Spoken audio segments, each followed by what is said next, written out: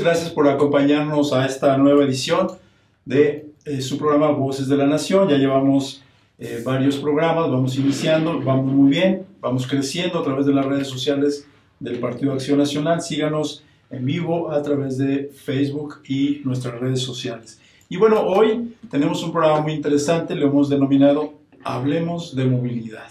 Y tenemos invitados de lujo, nos acompañan expertos eh, en la materia y se los iré presentando brevemente eh, para platicar de este tema. Es una charla de amigos sobre el tema de la movilidad. Eh, pues la gente gasta el 20% de sus ingresos en, para, para movilizarse y yo, sin ser experto, veo que no avanzamos, la, la gente invierte mucho tiempo en trasladarse, seguimos sin utilizar vías alternativas y, si me permiten, primero las damas. Sandra Herrera eh, es eh, maestra en desarrollo urbano, ella es especialista en temas de medio ambiente y está en un programa que se llama Sinergia Ambiental, auspiciado por la Conrad Adenauer. ¿Qué es lo que está pasando? ¿Cuál es el diagnóstico, maestra? Bueno, en realidad el problema está muy bien localizado y es el diseño de ciudades y la mala planeación que han hecho que nuestras ciudades sean extensivas. Entonces, eh, cada vez las distancias que se tienen que recorrer para satisfacer las necesidades son mayores y no se eh, prevé que haya servicios básicos cercanos a donde la gente habita. Incluso, y los trabajos pues, están claro, lejísimos. Incluso en algún momento, eh, en un vuelo en Oaxaca, eh, un funcionario me presumió, mire maestra, nosotros ya tenemos ciudades dormitorio. Se tenía la idea como que era algo de, de progreso, ¿no? De, ay, ya tenemos ciudades dormitorio porque pues la ciudad de capital es a donde van a trabajar todos, pero no viven allí. Y entonces esto es como una de las... Eh, circunstancias que han provocado todo este caos que tenemos en las ciudades.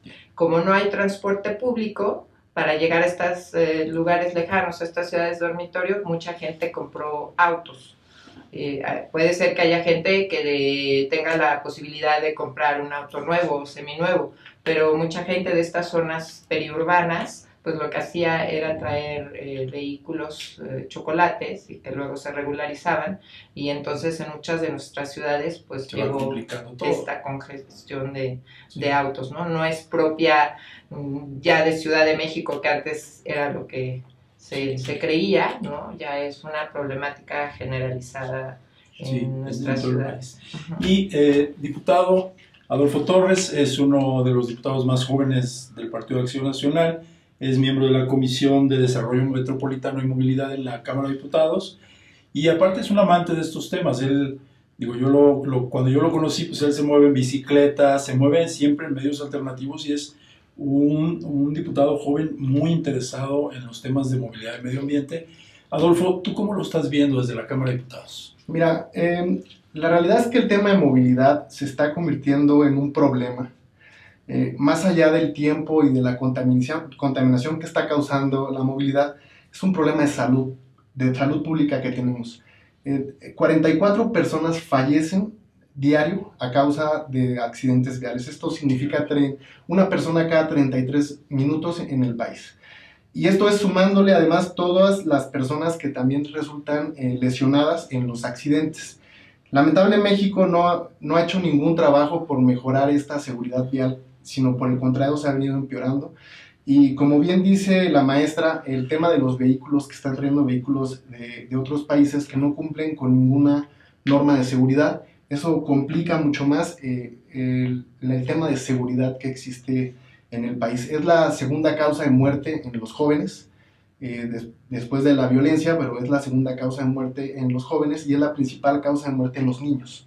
Entonces sí es un tema que nos debe de alarmar, que nos debe de preocupar.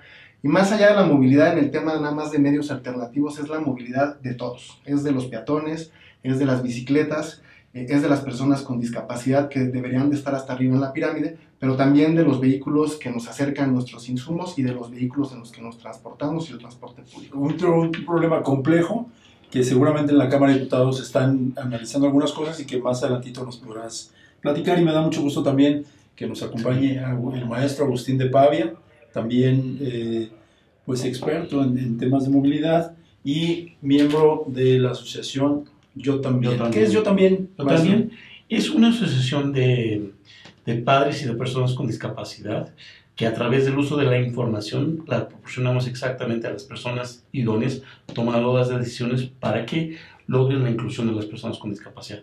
Porque normalmente nosotros conocemos la información, pero más bien, en vez de que nosotros nos incluyamos, ya decidimos decir, se lo compartimos a todos para que ellos, que es la sociedad en general y es la responsable de modificar su entorno en general, ellos tomen la decisión de ser inclusivos. Maestro, en temas de, de, movilidad para las personas con discapacidad, seguramente hay muchos pendientes.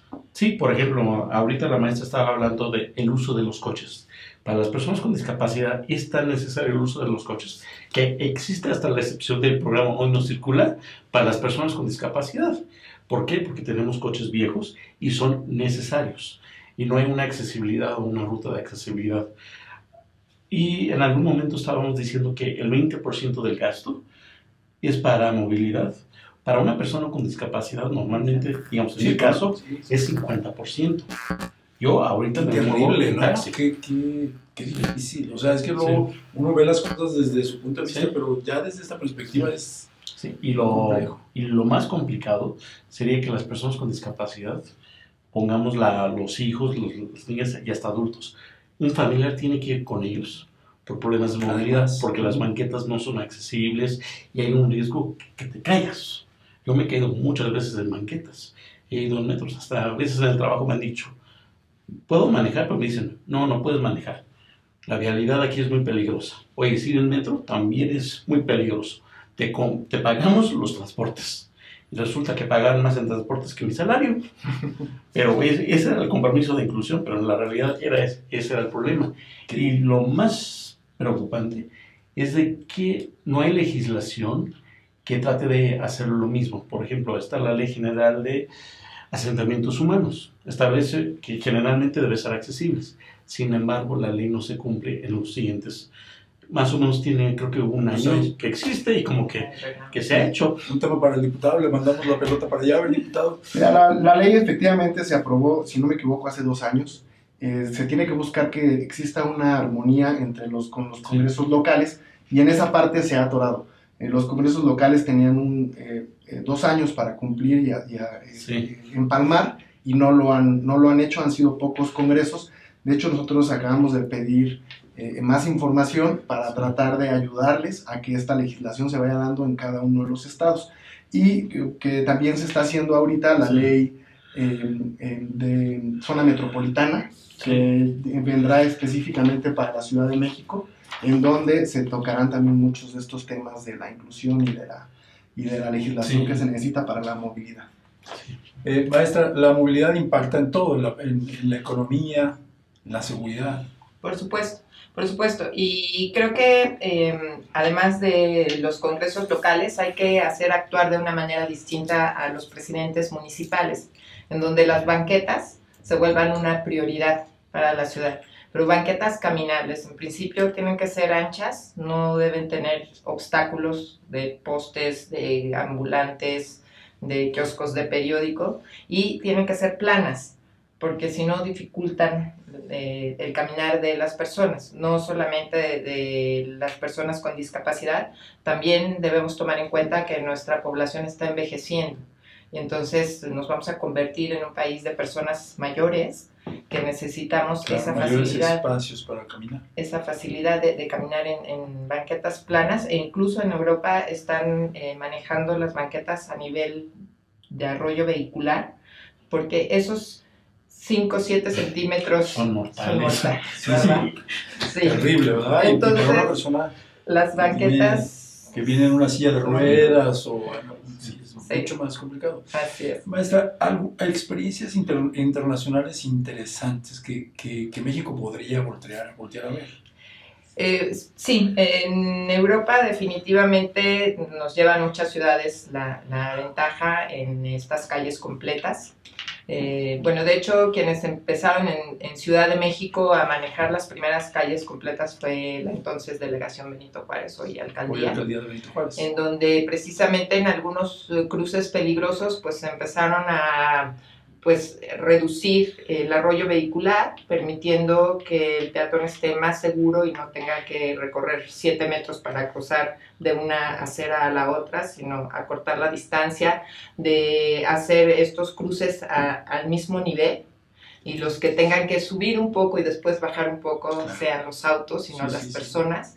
Y también eh, tener calles iluminadas porque eso tiene que ver mucho también con la otra parte de seguridad, no, no la de riesgo de accidentes, sino la de riesgo de violencia. Sí, estamos charlando y hablando del de, tema de movilidad. Es una charla, este, diputado y, y Agustín de Pavia, este, ¿cómo lo, cómo lo, desde tu punto de vista, qué países podemos nosotros, o qué ciudades serían, a ver, que están haciendo cosas interesantes? Voy a poner el ejemplo de yo también porque hay que dar una voz a las personas con discapacidad y la, la, experiencia. Por ejemplo, la discapacidad no es porque yo tenga una deficiencia, sino es por el entorno. En la Ciudad de México es muy difícil. Un caos. Pero si voy a Estados Unidos, ahí soy completamente libre y todas las personas con discapacidad pueden trabajar. ¿Por qué? Porque es accesible. Además de algo cultural. Y también tenemos otro aspecto importante. Además que las leyes, leyes sean exigibles y que los hagan políticos, necesitamos hacer un cambio de cultura, un cambio educativo. Por ejemplo, que todos los profesionistas sepan de la accesibilidad. Por ejemplo, hay una asociación que a través de servicio social dictamina banquetas accesibles, lugares accesibles. Una vez un alumno fue al lugar y él solito dijo, bueno, me están pidiendo aquí, pero también veo que el baño, él mismo ya estaba poniendo todas las ideas de qué debe ser accesible el lugar. Y no le importaba qué decía la norma. Él sabía, lo puedo hacer, entonces lo puedo proponer. Ya después la norma debe adaptarse a la realidad inclusiva. Entonces en Estados Unidos hay buen avance. Hay buen avance y también es porque existe una cultura también es un tema de la sociedad. De la sociedad y, por ejemplo, en México, a nivel educativo, nadie tiene una cultura de cómo debe ser algo accesible. Porque si sabemos que es accesible, hasta la persona que está haciendo la construcción, que le cargan la construcción, le dirías, jefe, jefe, estás haciendo una rampa junto a un poste, como que ahí no va. ah, sí, es cierto, hay que moverla. Pero es por mera lógica. Pero eso es lo que se logra a través de... Pero no se planifica, ¿no? No se planifica. En el metro, este, diputado, a ti te toca a veces irte en metro. Imagínate esas este, rampas interminables, ¿no? A que a veces ni siquiera funcionan. Sí, digo, el metro tiene los, los elevadores que, que tampoco funcionan muy, muy, muchas veces eh, y las escaleras eléctricas, eh, pero más allá de eso, creo que el, problema, por ejemplo, en el metro es que eh, está sobre, sobresaturado, o sea, tiene demasiada gente y entonces entrar con un niño es prácticamente imposible. Ahora, con una discapacidad, me imagino que debe ser tremendo poder entrar a esas filas interminables que se hacen del metro. Yo, yo eh, en esto que decías de los ejemplos internacionales, más allá de irme al ejemplo internacional, yo quisiera eh, eh, comentar que en, México todas las ciudades están diseñadas en base al auto. Todas las calles están hechas en base al auto y siempre tratamos de hacer la, calle más ancha para que tenga más carriles de carros. Y pocas veces pensamos en una banqueta más ancha o que la calle esté diseñada en base a la necesidad del lugar donde se está haciendo. Eh, por ejemplo, voy a poner ejemplo de Tepito, que a lo mejor eh, es como complejo, pero Tepito es una zona comercial no es una zona de vialidad para pasar, es una zona tradicionalmente comercial en la Ciudad de México. Entonces, si la vocación de las calles fueran comerciales, entonces otra cosa sería Tepito, no estaría una banqueta súper angosta con un puesto donde no se puede pasar. Si le reducimos tres carriles a la avenida, que es bastante ancha, y entonces hacemos un espacio comercial, un espacio para que el peatón pase, y al vehículo le reducimos el espacio, yo les aseguro que sería una zona más próspera y además con mucho menos tráfico, porque ya sabrías que si quieres ir a Tepito, pues no vas en tu coche. Como ha pasado en las zonas del centro, que ciertas calles ya están cerradas, porque es más viable que camines que, a en coche. en coche. Así es. Este, el, el, tema de medios alternativos. Bueno, hay, hay, varias perspectivas. lentos, ¿no? Claro, sí, hay, hay varias perspectivas a tomar en cuenta. Una es nuestro primer objetivo tiene que ser mover al mayor número de gente de una manera eficiente. Y en, en el concepto de ciudades que tenemos ahorita tan tan cuidado del medio ambiente también. Luego, el cuidado del medio ambiente. Entonces, eh, pues las opciones eh, son eh, las de vehículos eléctricos, transporte público eléctrico. lentos, este, Sí, maestra, y muy caros todavía. sí, y allí también lo que se debe tomar en cuenta es que no se vaya a mover nada más del lugar la contaminación. Si vamos a seguir generando energía eléctrica eh, con, Con hidrocarburos y ahora con carbón, Con carbón. entonces estos vehículos eléctricos van a jalar esa electricidad Eso va a ser lo sucia, mismo. exacto. Entonces tiene que ser soluciones integrales, ¿no? Energías renovables, transporte público eléctrico y hay una discusión entre si tiene que ser subterráneo o tiene que ser en superficie. Eh, muchos de los que no quieren bajarse del coche dicen pues que se haga más metro y que entonces se, mueve- se mueva mucha gente por el subterráneo y hay muchos eh, de, de los usuarios de estos transportes públicos que dicen las personas son las que deben tener el privilegio de la calle y los coches son los que deberían ir por el subterráneo. Entonces debemos tener más transporte público de superficie y que los vehículos se vayan por, por túneles. De todas formas son inversiones caras eh, de las ciudades, pero eh, pues son inevitables. Realmente... Se ve muy lejano, ¿no? Se ve muy lejano este tipo de soluciones, digo, porque es mucha inversión y ha pasado mucho tiempo y lamentablemente no se han tomado las decisiones. Sí, yo me pregunto, eh, a final de cuentas, la mayor parte de la gente usuaria de transporte público, ¿qué preferiría? ¿Que el gobierno de las ciudades invirtiera muchísimos millones de dólares en, en el transporte público o que le den su mensualidad? Bueno, pues sí. Eh, llega un momento que esa mensualidad, de todas formas, no va a alcanzar. Hace... Sí. No, pre- precisamente ahorita de la mensualidad es de, prefiero que me des apoyos técnicos, unas sillas de ruedas, y ya, de- eso es lo más caro para la persona con discapacidad, los apoyos que requiere de los servicios. Si se los das, no hay problema, él se arregla con la accesibilidad. Y por ejemplo, aquí no es una cuestión tanto de derechos, por ejemplo, ya se respetan los derechos humanos a nivel constitucional y, hay de- y el derecho a la movilidad está reconocido en muchos lugares. Es una cuestión que tanto el legislador como eh, las personas y el gobierno hagan reglas para asegurar que cuando llegue la nueva administración no se haga el omiso, no sabe qué hacer, sino hay un manual de qué debe hacer. Pero también ahí depende mucho, práctica. depende mucho de la sociedad, ¿no, diputado? Que, que no, no somos conscientes y, y- y no nos interesa, salves el que pueda, ¿no? Mira, yo, yo aquí, haciendo un poco, sacando datos duros, Sí. más del 60% de la población se mueve en transporte público o a pie. El 65% si le aumentamos la bicicleta. Y más del 80% del dinero, del recurso que se invierte en infraestructura en las calles va destinado al vehículo.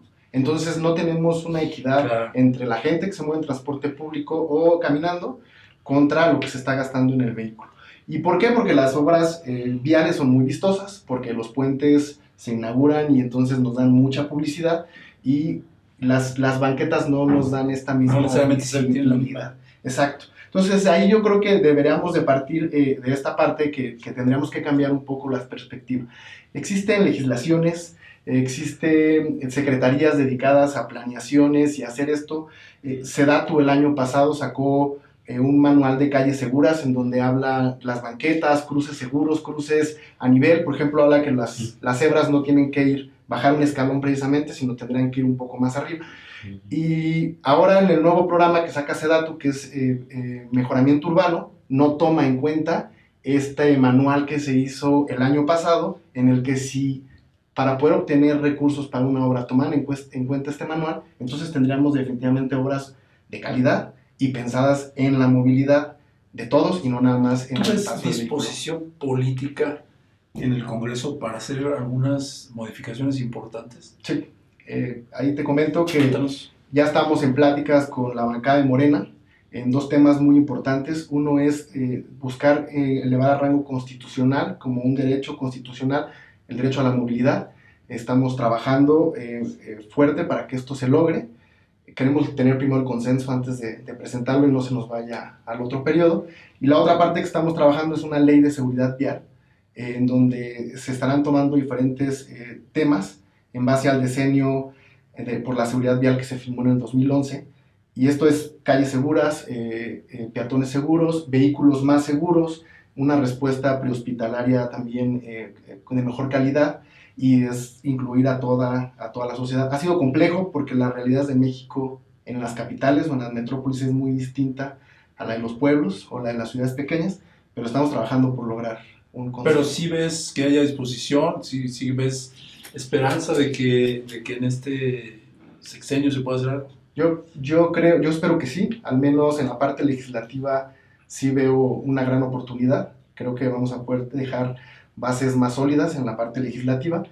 En la que no me queda tan clara es en la parte de operar. Este, se redujeron los recursos. Por ejemplo, hay un fondo específicamente para transporte de discapacidad, el cual tuvo una reducción como del 25 o 30%. Aunque se eh, luchó para que, porque estaba casi en cero. estaba en cero, sí, se aumentó un poco. Y esto es específicamente tener transporte público en donde más se necesita para discapacidad. Entonces sí vemos de parte del gobierno eh, eh, ejecutivo que no tiene, pareciera que no tiene tantas ganas, pero al menos en la parte legislativa le tenemos que dejar las herramientas para que se logre. A nivel federal no se ha instalado el, ¿cómo se llama este organismo? El CONADIS. Ajá, no se ha instalado. Precisamente no se ha instalado y una de sus funciones principales es la accesibilidad. Creo que el único derecho que sí le corresponde coordinar con los tres gobiernos es la accesibilidad. De ahí en fuera, cada quien con su mecate y le dan los elementos técnicos de la discapacidad, pero educación, tú haces educación, tú haces salud, y yo no más te digo cómo es la discapacidad. Pero con NARIS es el único encargado de la accesibilidad, además de ese dato. Pero no han puesto todavía titular, ¿verdad? No, no han puesto titular. Yo, yo siento que esa es una falta grave de los primeros 100 días. Eh, es una falta que limita nuestros, nuestros derechos y varios organismos ya han dicho que es, es problemático y alarmante esto. Sí, claro, porque bueno, ya se decidió entregarle recursos a las personas con discapacidad, qué bueno, pero también hay un macro que no se está teniendo. Es un poco lo que comentábamos. El dinero en manos de las personas no va a resolver problemas que son responsabilidad de las autoridades. Y, y, la infraestructura de la ciudad es una responsabilidad de autoridad. Oh, Entonces, ¿de qué sirve que se tenga el dinero? Cuando no hay la accesibilidad ni en las calles, ni en el transporte público, ni, en los edificios públicos. Por ejemplo, el motivo general por que se redujo esa partida presupuestal de accesibilidad era porque no se ejercía el presupuesto. ¿Pero por qué? Porque el CONADIS no ponía las pilas de capacitar a las organizaciones y los estados de cómo bajar el presupuesto. Y no era como para, darle dinero a la, gente, a la gente, sino aplicar una política pública de accesibilidad y de movilidad que, que beneficie a todos. En principio nos beneficiaría creo que al 15% de la población. Sandra, eh, en eh, sinergia ambiental, ¿qué, ¿qué tipo de propuestas están generando? Bueno, en estos momentos estamos por sacar los puntos prioritarios que creemos que debe contemplar el Plan Nacional. ¿Los tres principales? Eh, los tres principales están eh, ordenamiento territorial, eh, ciudades sustentables, incluyendo la parte de, inclusión, y agua, la gestión de agua. Okay. Redes sociales que tengan ustedes para que las personas interesadas pudieran acercarse. Sí, claro que sí, es arroba sinergia ambiental. Arroba sinergia ambiental en Twitter. Este, Agustín. Mm, bueno, las redes sociales de, yo, también. Así es. es arroba, yo, también. En Facebook, en, o solamente en Twitter. Tenemos en Twitter y también en Facebook. Facebook, igual se llama así. Yo también. Yo también. Las principales este, propuestas que están generando ustedes. En principio, que toda la, todas las leyes incluyan uh, discriminación por motivos de discapacidad, que incluya accesibilidad y presupuesto para hacerlos porque el Tratado Internacional de Discapacidad dice, tienes que invertir en tecnología para que bajen los costos, porque si no, nunca vas a poder bajar los costos. Por eso es el diseño universal, siempre pensar en accesibilidad, aunque no tengas una persona con discapacidad, pero en algún momento va a llegar alguien que lo va a usar. Diputado Adolfo Torres, tus redes sociales. Eh, igual me ¿Cómo te encuentran encuentran? arroba Adolfo Torres en Facebook, en Twitter y en, en Instagram también. Para el tema de las propuestas que estabas generando, el otro día me platicabas de un, de un programa interesante de, de estas patinetas, ¿no? Eh, bueno, eh, Entre otras. eh, creo que hay, hay muchos programas. eh, la movilidad eh, sustentable o, o la ¿Tú te mueves en bici? de ¿Cómo, propulsión cómo es? humana. Sí, yo me muevo en bicicleta. o en patín. Yo en, en bicicleta, en patín, y cuando son distancias largas, pues uso el transporte público solamente cuando me voy para, para mi tierra. A la Cámara de Diputados, ¿cómo llegas? En metro. En el metro. En el metro siempre duda. voy y uso eh, Ecobici para, para hacer mi primer tramo. De base a base. Eh, En bici, metro, metro. Mi primer, haces- mi primer tramo es Ecobici, después este, el metro que ¿Qué? me deje en la A ver, a ti que te gusta mucho eso, ¿qué dificultades ves en la calle? Es muy complicado, ¿no? Estar en bicicleta o estar... Digo, a todo mundo se le dificulta la ciudad. Mira, yo, yo por el contrario, eh, eh, cuando voy en el coche me siento atrapado. Creo que es eh, ir encerrado en todas esas toneladas de fierro, este, es algo que me, que, me, que me obstruye más a ir, a ir en la bicicleta o ir en el, en el metro. Eh, sí creo yo que es una cuestión de actitud, de que nosotros nos animemos a usar otro medio de transporte. Eh, culturalmente el vehículo siempre ha sido aspiracional y entonces quien tiene coche ya, ya siente que, que brincó. Eh, cuando, pero realmente en, en- en México y especialmente en ciudades más grandes tenemos muchísimas oportunidades de cómo podernos, de cómo podernos mover, el transporte público, la bicicleta, este, ahora con los Ubers, los taxis, igual, claro. infinidad. Y decirte que en los pueblos pequeños el- la gente todavía con más razón se mueve sin el vehículo. Este, los niños, tú puedes ir en, los, en las ciudades de Michoacán, los niños llegan a la escuela en, en bicicleta, llegan a la escuela caminando. Entonces sí creo que es más una idea que traemos nosotros del vehículo de mercadotecnia y que es cuestión de animarnos a, a bajarnos del carro. Bueno, estamos en los últimos minutos de, de este programa de Hablemos de Movilidad en, en La Nación. Síganos cada semana, estaremos tratando temas de interés de la sociedad. Agustín de Pavia, de Yo También. ¿Algún comentario, algún llamado al final de tu parte? Ahorita que el diputado estaba diciendo, es una aspiración tener un coche. Las personas con discapacidad, nuestra aspiración es poder salir a la calle de manera independiente y ser independientes. Esa es la única aspiración. Necesitamos muchos apoyos muchos servicios y accesibilidad y seguridad para que no nos caigamos y nos lastimemos en las calles. Sí, pero no, no, no aspiramos a mucho. Un Nada, tema de cultura. nada más a la libertad de salir. Es un tema de cultura, la sociedad no hemos entendido. No, y además que no nos vean, que no nos vean feo o con lástima. Creo que el 80% de los motivos de discriminación es porque nos ven feo o nos tratan diferente. Sí, somos, algo sensibles para saber cuándo nos tratan mal. Entonces, ese es el motivo, pero nunca lo podemos probar. Y por eso a veces nos salimos a la calle o, no- o nos animamos a hacer cosas. Pero si uno se anima a hacer las cosas, por lo general siempre he visto gente que está dispuesta a apoyarte para incluirte. Muy bien. Sandra Herrera, maestra, ¿algún comentario final, algún llamado? Bueno, yo lo que quiero dejar de mensaje también es que eh, la sociedad civil organizada es muy importante para estos temas de transformación de ciudades. Eh, cada uno desde su trinchera, la, la parte de las personas con discapacidad, los ciclistas también han sido importantes, los peatones eh, que también tienen sus colectivos son importantes y eh, creo que eh, son voces que tienen que ser no solamente escuchadas, sino que se les invite a participar en la elaboración de políticas públicas, ¿no? Entonces, Incluir a la sociedad civil. claro, creemos que porque nos informan todos los días en la mañana, ya nos están incluyendo, cuando en realidad hemos visto que en las mesas, cuando se invita a la sociedad civil, no se le está escuchando. Entonces, creo que, como tú comentabas, le preguntaste a Adolfo, ¿y tú cómo sientes la calle?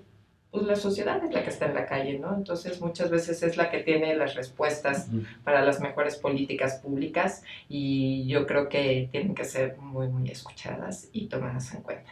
Pues muchas gracias por estar con nosotros, Ujú. diputado. Un último comentario, un llamado, una reflexión, lo que, lo que tú consideres. Gracias, Felipe. Pues yo, como, como dice la maestra, definitivamente invitar a la sociedad civil, eh, no nada más en el tema de movilidad, sino en todos los temas.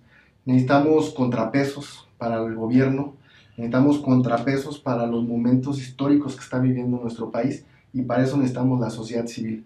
Un ejemplo claro, la Guardia Nacional, eh, que la sociedad civil entró duro a, no permitir como venía y que entonces fue escuchada y se, pudo, modificar. se pudo modificar. Eh, eh, por ejemplo, en el tema de esta ley de seguridad vial, es una iniciativa que nos presentaron colectivos de la Ciudad de México, no fue una iniciativa precisamente de la Cámara, sino fue de la sociedad civil y ya está llevando, se está llevando eh, al tema legislativo.